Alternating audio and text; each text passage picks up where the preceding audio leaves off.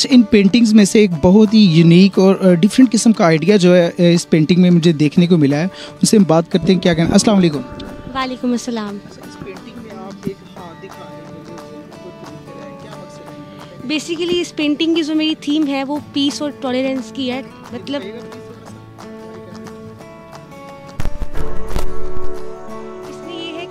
बंधे हुए हैं, जंजीर के साथ, यानी कैद की एक निशानी है और जो कबूतर है वो आज़ादी की निशानी है। तो जहाँ पर कैद होती है, जंजीरों में जकड़े हुए होते हैं, वहाँ पर इंडिपेंडेंस भी आती है, आज़ादी की एक उम्मीद दिलाई गई है मेरी इस थीम में। हाँ खूबसूरत पिक्चर है जिसमें आज़ादी की तस्वीर को रिप्रेजेंट किया गया है और बहुत यूनिक आइडिया के साथ जो दिखाया गया है। हमारे साथ रहिएगा और भी जो स्टूडेंट्स हैं, हम बात कर रहे हैं। बात करते हैं, क्या कहना उनका इस प्रोग्राम के लिए? किस किस्म की पिक्चर उनके पास? देखते हैं।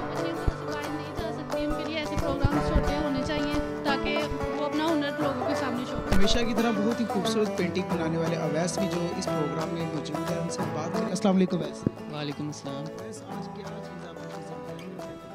जी हमको ये जो मिला था टॉपिक इसका था अनुमान कल्चर ऑफ़ पाकिस्तान तो इसके इस टॉपिक में मैंने ये बनाया है ये गाँव का मंदिर दिखाया है मैंने और ये लैंडस्केप बनाया है। गाँव गाँव में जो जो चीज़ें होती हैं वो सारा कुछ इसमें मैंने दिखाने की कोशिश की है।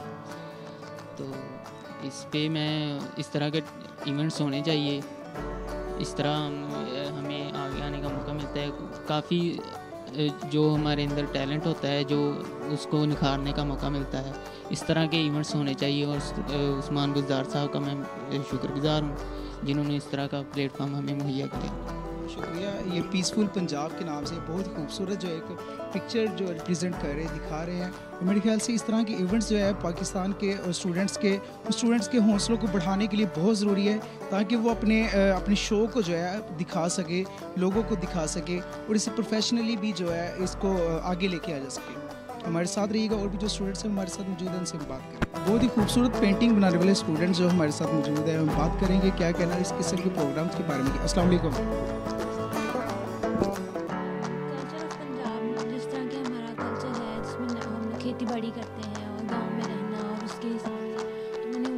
सीन क्रिएट किया है।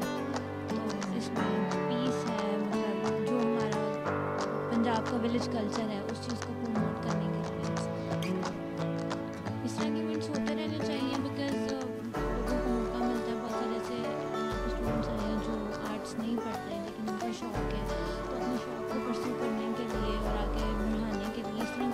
होते रहने चाहिए। इस प्रोग्राम की सबसे खूबसूरत पिक्चर जो हम आपको दिखाने जा रहे हैं जिसमें चारों सूबों को एक खूबसूरत अंदाज में रिप्रेजेंट किया गया है उनसे हम बात करते हैं क्या अस्सलाम वालेकुम मैम।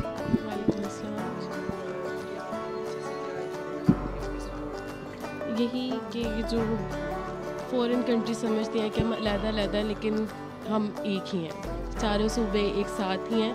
अगर कोई कभी फॉरेन अटैक होता है या किसी भी किस्म का होता है हमला होता है तो हम सब एक ही पीसफुल कंटेंट में एक ज़बरदस्त पीसफुल कंटेंट जो अपनी पिक्चर से इन्होंने दिखाया है मेरे ख्याल से बहुत यूनिक एक आइडिया है और बहुत प्यारा। अच्छा इस किस्म के प्रोग्राम्स के बारे में क्या कहेंगे? स्टूडेंट्स के लिए क्या इंकरेजमेंट मिलती? क्या कहेंगे आप? इसमें ये है कि जो स्टूडेंट्स इस फ़ील्ड से बिलोंग भी नहीं करते लाइक मैं किसी इंस्टीट्यूट से फिलेटेड नहीं हूँ सेल्फ टोट हूँ तो उनको भी आगे आने का मौका मिलता है लाइक शुक्रिया जी। इस किस्म के इवेंट्स के बारे में इनका कहना था कि ये होते रहने चाहिए क्योंकि स्टूडेंट्स को इंकरेजमेंट का मौका मिलता है और बहुत कुछ सीखने का मौका मिलता है। अच्छा सर फैसलाबाद में ये जो टैलेंट हंट के नाम से ये प्रोग्राम मनकद किया गया है, क्या कहेंगे इस बारे में? स्टूडेंट्स को माशाल्लाह काफ़ी ज़्यादा इंकरेजमेंट मिल रही है। क्या कहेंगे मज़ीद? इसमें क्या फ़ायदा हो सकता है स्टूडेंट्स के लिए? जी हाँ बिल्कुल talent hunt programme CM Punjab साहब का लॉन्च किया हुआ ये तीसरा प्रोग्राम है।